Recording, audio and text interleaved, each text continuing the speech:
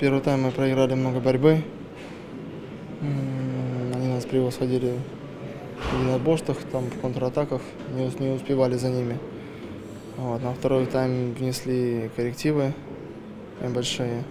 Вот. Стали появляться и моменты, и стали хорошо убегать в контратаке. Стали, в общем, появляться моменты для э, взятия ворот. Но, ну, к сожалению, там было несколько хороших эпизодов, которые мы не довели до логического завершения.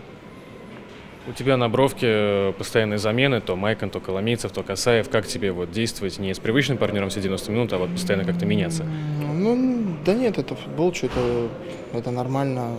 Если тренер так считает, то я же не могу сказать ему, что я мне вот хорошо вот с ним играть, а не с ним. Мы же не в детском садике. Вот.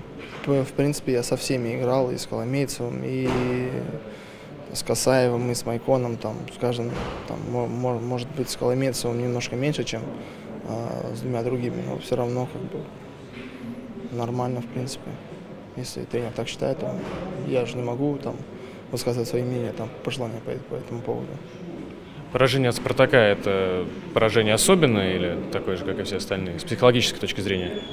Да нет, я не разделяю команды на, э, там, если выиграли бы там, там у кого-то другого, там, нежели у «Спартака», в любом случае это три очка.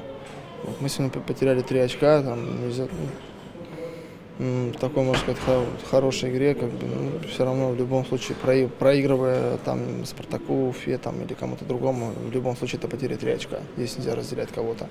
Или там настраиваться на кого-то по-особенному, на кого-то там не настраиваться. Вот. Так что жаль, что не добыли очки сегодня.